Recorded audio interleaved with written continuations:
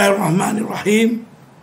Assalamualaikum warahmatullahi taala wabarakatuh dan salam sejahtera. Kita masih lagi dalam suasana berhari raya. Jadi sekali lagi saya ingin mengucapkan selamat hari raya Aidilfitri. Maaf zahir dan batin. Saya ingin memaklumkan kepada umum iaitu untuk pengetahuan orang ramai. Saya telah membuat aduan SPRM dan juga aduan kepada polis bahagian jenayah perdagangan.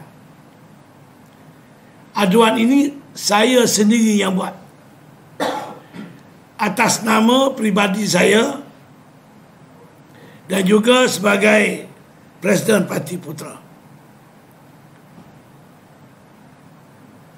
Laporan kepada SPRM saya buat pada 6 hari bulan April.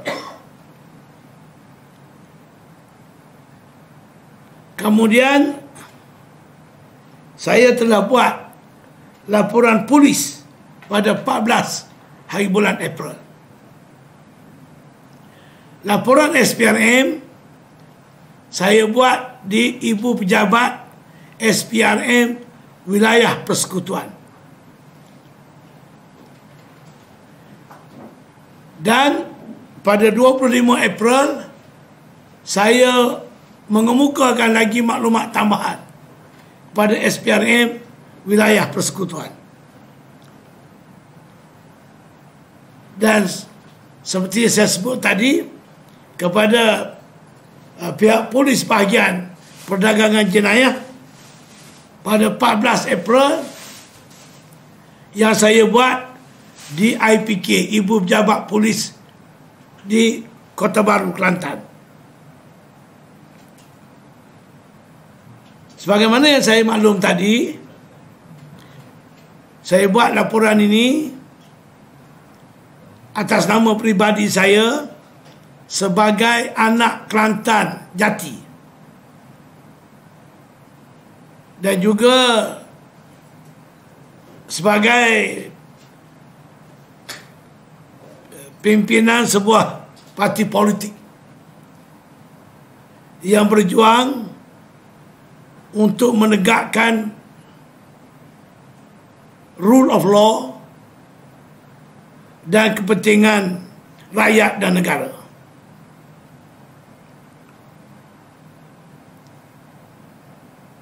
Kenapa saya baru mengadakan sidang media pada hari ini manakala laporan dibuat pada 6 April kepada SPRM dan polis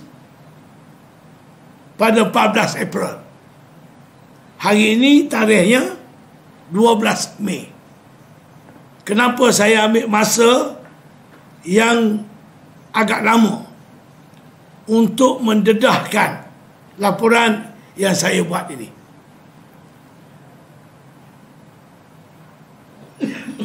Sebabnya secara tradisi kalau ikut pengalaman-pengalaman lalu oleh banyak pihak bila buat laporan polis dan SPRM pada hari yang sama sidang media dibuat. Sama ada di hadapan balai polis ataupun di hadapan pejabat SPRM. Manakala laporan baru dibuat.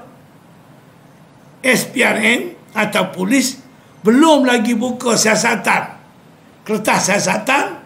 Perkara ini eh, perkara laporan ini sudah didedah kepada pihak umum saya berpendapat ianya cara yang tidak betul.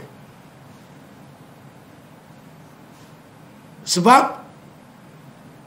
apabila kita buat laporan dan pada hari yang sama kita dedah pada pihak umum melalui media pasti apa yang berlaku belum lagi SPRM buka faiz penyiasatan ataupun polis mereka yang kita adu. Mereka yang kita buat aduan polis ke SPRM dengan secara pantas mereka boleh melupuskan bahan bukti. Mereka boleh berpakat kalau ada saksi-saksi. Mereka-mereka yang berpotensi untuk menjadi saksi. Dan macam-macam boleh dibuat untuk mengelakkan daripada dituduh dan diambil tindakan. Maka sebab itu saya biarkan sedikit masa untuk memberi ruang kepada polis dan juga pihak SPRM membuat penyiasatan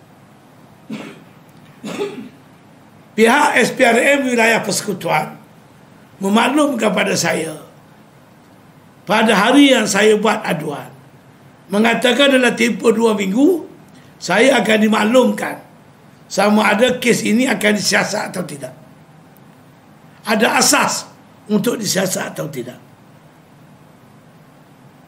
Kemudian saya menerima maklum balas beberapa hari selepas itu bahawa kes ini akan disiasat. Ada asas untuk disiasat. Dan saya mendapat khabar sekarang ini SPRM uh, sudah pun rancak membuat penyiasatan cuma tahapnya saya belum tahu sampai ke peringkat mana. Pihak polis sudah pun memanggil saya di Kelantan untuk diambil keterangan dan saya telah memberi keterangan, keterangan yang secukupnya setakat perkara yang saya adu ini dalam pengetahuan saya. Perkara yang saya buat aduan ini ialah pada 1 April 2022 saya telah menemui segulungan kertas dalam peti surat saya di nombor 43 Taman Melawati iaitu rumah saya. Bila saya tengok segulung kertas yang dimasuk dalam peti surat saya dan saya meneliti dan membaca dua tiga kali saya berpendapat ini pasti perkara serius. Kerana orang yang telah menghantar maklumat ini tanpa bernama saya tak tahu siapa. Tetapi sudah pada pasti mereka ini mempunyai asas yang kuat dan dihantar kepada saya dan saudara tentu dia mengharap saya melakukan sesuatu. Itu anggapan saya. Dan saya juga berpendapat ini mesti nak kata orang dalaman saya tak tahu. Tetapi pasti orang yang mempunyai pengetahuan yang tidak sedikit dalam kes ini mungkin kaki tangan kepada agensi-agensi yang terlibat. Ataupun it can be anybody tetapi sudah pasti saya menganggap ianya penting. Maka saya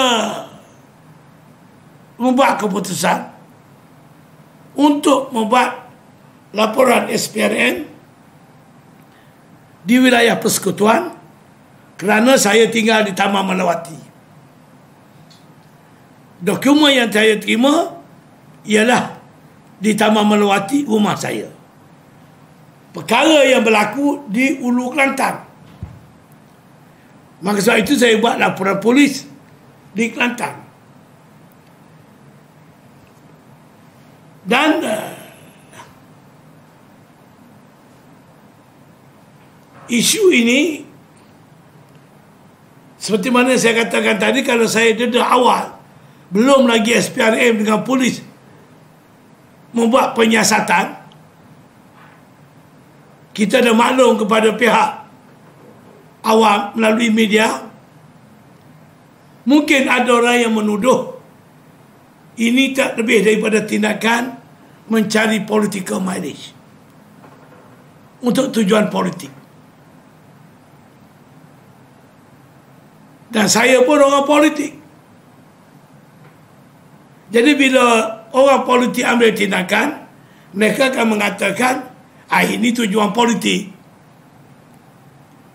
Jadi agak rumit saya nak menentukan supaya walaupun saya orang politik, tetapi apa yang saya lakukan ini tidak semestinya ditafsirkan sebagai kepentingan politik. Jauh sama sekali. Wallahi, tak ada kena-mengena dengan agenda politik. Saya lakukan ini ialah untuk menjaga kepentingan alam sekitar negeri Kelantan iaitu negeri saya yang sudah banyak musnah selama ini. Dan kalau alam sekitar ini tidak dijaga, dipertahan. Bila berlaku musim ketujuh hujan lebat bencana banjir yang boleh mengancam nyawa rakyat akan berlaku. Dan ini sudah berlaku dua tiga kali sepanjang dalam sejarah negeri Kelantan. Bila berlaku banjir besar kita tengok bagaimana sungai Kelantan dihanyutkan dengan berbagai-bagai sampah kayu kaya. Dengan uh, apa ni kerutuhan bukit tebing sungai dan sebagainya. Jadi dokumen yang saya terima ini membabitkan nombor satu iaitu berkenaan dengan ladang hutan di dalam hutan simpan Nenggiri Gua Musa. Cerita hutan ladang hutan simpan di negeri ini sudah pun terdedah sedikit sebanyak saya tengok dalam media sosial. Tetapi apa yang saya buat ini ialah mengambil tindakan tidak sekadar pendedahan polemik riuh hendah dan ini yang dikatakan ah, ini ada agenda politik. Saya pula tidak heboh.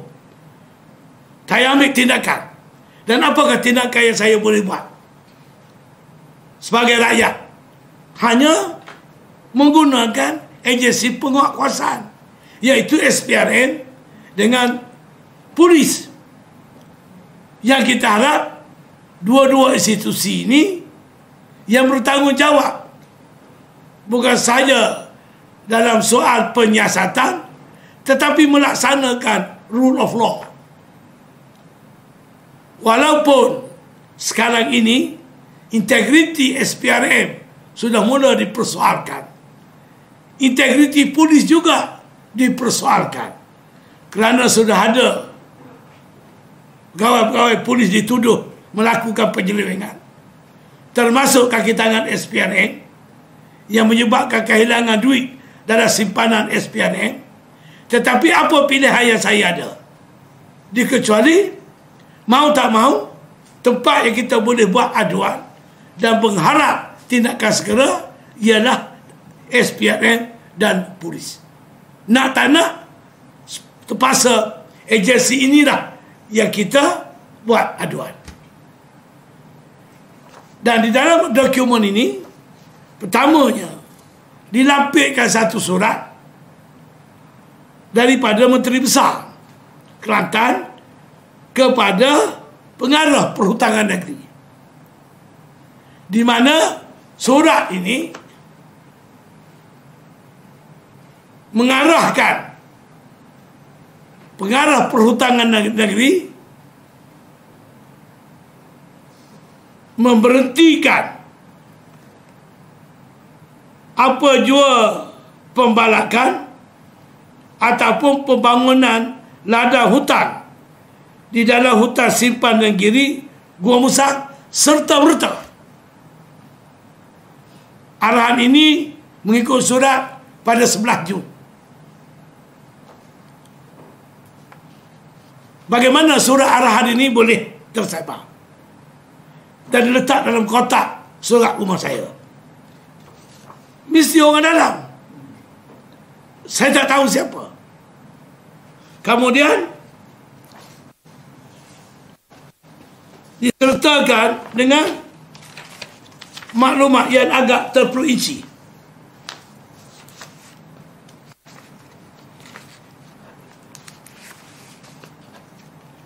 minta bagi ni maklumat yang terperinci walaupun sudah ada arahan supaya dihentikan pembangunan apa ni yang saya sebutkan tadi ladang hutang ni. Tetapi mengikut apa yang dimaklumkan dan maklumat yang saya terima pembangunan ladang hutang dan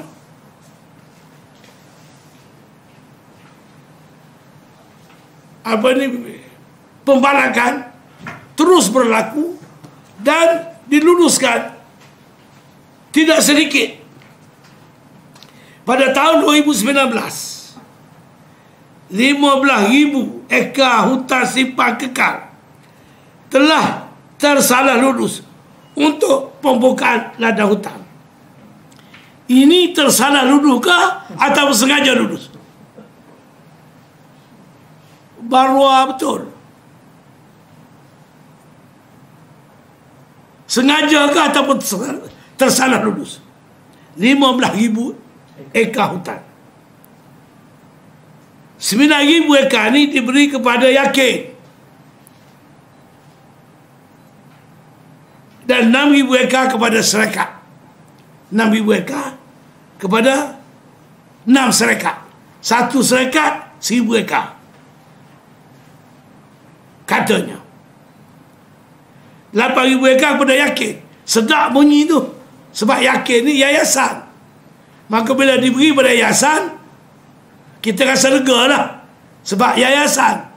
Tetapi tahu ke tidak bagaimana pula yakin yang mendapat 6,000 ekar ni pula menjual ataupun memberi hak pembalakan kepada syarikat-syarikat yang dipilih oleh yakin.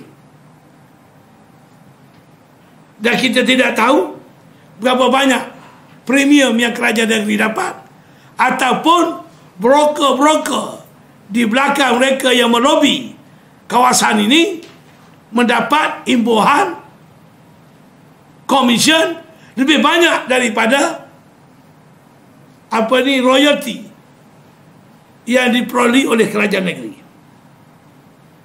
Maka tahun 2020 eh, tahun 2020 selepas 2019 tahun 2020 keluarlah surat yang dikatakan beku. Yang saya tunjuk tadi ini beku tetapi tahun 21-22 sekitar 21 22 selepas dibeku masih berlaku aktiviti pembalakan bukan ada hutang. Ha, ini dia. Kenapa masih berlaku?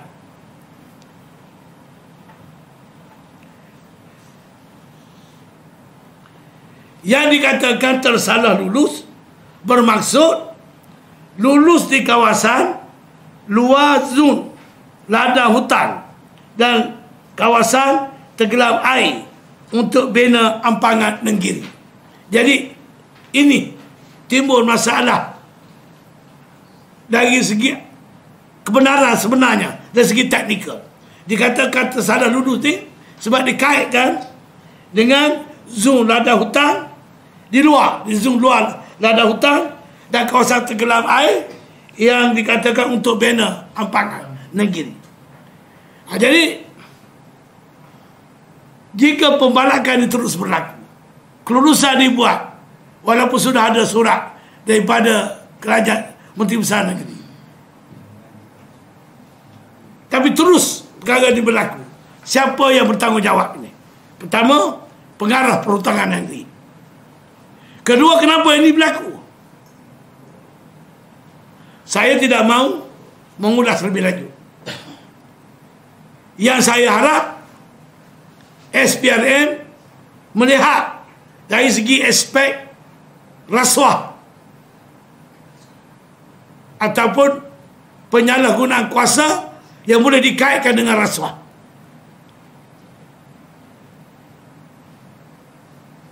Kedua, polis bahagian perdagangan jenayah untuk melihat apakah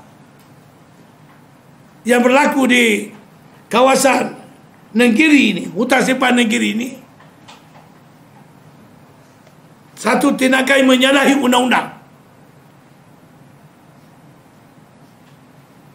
Maknanya isu rule of law.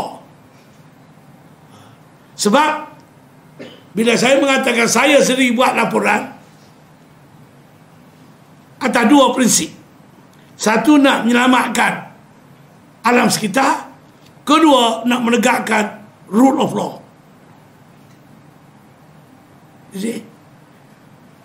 Jadi,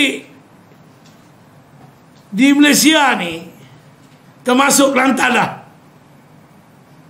Macam-macam berlaku. Aneh sungguh negara kita ni. Begitu juga di Kelantan ni. Kelantan lagi aneh. Sebab negeri ini ditabik oleh kononnya alim ulama. Kononnya kerajaan Islam. Lagilah seratus kali aneh. Jadi, bagaimana balak boleh dicuri? Balak ni bukan ringan. Yang berada dalam hutan tak mudah untuk dicuri. Tapi di Malaysia ni bukan saja curi duit berbeliau boleh dicuri, balak orang boleh curi. Esok-esok tidak mustahil Malaysia ni pun ada orang boleh jual. Negeri Kelantan dengan negeri negeri-negeri sekali dijualnya nanti. Tetapi saya serah kepada SPRM saya serah pada polis untuk melakukan penyiasatan. Saya tunggu. Dan saya berharap pihak SPRN dan juga polis akan memanggil saya untuk memberi maklum balas. Setidak-tidaknya secara kamera. Bukan untuk umum, untuk pengetahuan saya sama ada penyiasatan ini kepada SPRM berlaku ke tidak rasuah dan penyalahgunaan kuasa. Kalau dia kata no further action, saya nak tanya buktikan no further action itu sebab apa? Kerana saya pun mungkin boleh bagi lagi maklumat tambahan.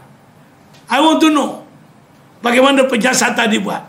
Sebab sebelum ini pun pengalaman saya lah sebagai pemimpin NGO dulu perkasa banyak kita buat laporan polis SPRM sudah buat senyap gitu saja. SPRM hantar pada pejabat AG polis hantar pada AG AG pula jadi hakim menentukan ada kes tak ada kes untuk didakwa ataupun tidak. Oh no further action. But itu pandangan mereka. Tapi mungkin pada pandangan pihak lain. Ada kes. Jadi saya minta SPRM, polis juga panggil saya untuk diberi maklum. Kalau dikatakan no foundation, buktikan kepada saya secara detail, kita dah siasat, ini maklumat lebih kurang, therefore there is no case. Kita tidak boleh take further action. Okay, prove it to me. Sebab, saya mengatakan demikian, saya juga terima maklumat dalam kotak surat saya satu laporan yang dibuat oleh pihak profesional dia ambil gambar menggunakan drone dan satelit. Ini ada dengan saya ni. Forest status of compartment 1 Nenggiri Forest Reserve dated 30th of March 33 22 ini kompartmen 42 kompartmen 33 kompartmen 86 dan kalau kita tengok gambar-gambar ini semua dah jadi botak. Dah tak ada dah hutang. Ini bukti. Nak tutup apa lagi? Nak sembunyi apa lagi? Sebab itu saya minta disiasat. Sebab kita nak tahu bila arah dikeluar supaya kawasan ini dihentikan pembalakan pembangunan ladang tapi masih terus dibuat. Masih terus dibagi kepada enam syarikat kepada orang itu orang ini saya nak tahu syarikat apa? Syarikat mana? Dan siapa di belakang syarikat-syarikat ini? Ha, ini very difficult to prove. Paling susah nak buktikan. Di Malaysia ni dia ada tangan gaib dia ada godfather. Dia hanya pergi cakap mulut. Lobby. Lulus tapi yang dapat beda yang pergi cakap mulut ni. Kerana dia ni tokoh penting. Dia orang berpengaruh. Dia wakil rakyat. Dia orang politik. Dia anak orang politik. Anak pemimpin politik. Ataupun menantu menteri besar. Kita tak tahu. Who are behind this? Saya tak buat tuduhan. Cuma saya hanya nak tahu polis kena siasat ada di belakang-belakang orang-orang ini. Memanglah penyiasatan tanpa riman susah. Maksud saya, bila dipanggil orang-orang berkenaan, bila dengar laporan hearsay, laporan mulut, maka dipanggil ditanya orang-orang berkenan orang ini akan menafi. Habis cerita. Tetapi kalau dibuat penyiasatan polis menahan SPRM menahan dapat perintah riman dan dalam riman soal siasat dibuat. Lagi mudah bukti-bukti diperolehi. Tapi kalau riman itu masa yang singkat Tiga hari, empat hari, mahkamah bagi juga tidak cukup masa. Sebab itu saya cadar sebelum ini ingat tak? Diwujudkan akta sabotaj ekonomi. Untuk membolehkan pihak polis ke PSPNM ataupun mana-mana penyiasat agensi mempunyai masa yang secukupnya dan meletakkan dalam keadaan secara psikologi mereka yang ditahan ini bekerjasama untuk mendedahkan perkara yang sebenar. Jadi inilah uh, bukti apa ni yang saya tunjukkan tadi maknanya ada asas untuk disiasat. So, saya sendiri kalau keadaan mengizinkan keadaan mengizinkan selepas ini kalau cuaca elok kesihatan mengizinkan Mungkin saya akan masuk ke kawasan apa ni negeri sendiri untuk melihat apa yang sudah berlaku. Saya juga sebelum ini selalu dihubungi oleh kaum asli, orang asli Gua Musa, memaklumkan penderitaan hidup mereka. Pernah mereka datang ke rumah saya, dua buah bas bermalam di rumah saya di Taman Mimi, Wakabaru waktu kes mereka dibawa ke mahkamah. Jadi bila kita ambil tindakan saya bersuara seumpama ini saya selalu menaruh kebimbangan dituduh ah, ini apa ni tidak tanduk untuk mencari political mileage saya bukan jenis itu saya tidak tergoda dalam individu seumpama ini. Saya berjuang tanpa henti. Konsisten. Ada jawatan, tak ada jawatan. tak kira masa. Berbeza dengan pihak-pihak lain dia akan berbunyi bising bila dah sampai eh dah pilihan raya. Maknanya oh, mungkin pilihan raya setahun lagi ha, sekarang ni dah mula bising. Saya tidak. Daripada dulu lagi musim pilihan raya ke tidak pilihan raya ke tak kira waktu saya akan ambil tindakan dan bersuara apa yang patut tapi yang ini saya sendiri buat laporan SPRM saya sendiri buat laporan polis. Sebab jahanam negeri Kelantan kalau perkara ini terus berlaku. Terima kasih. Saya kalau ada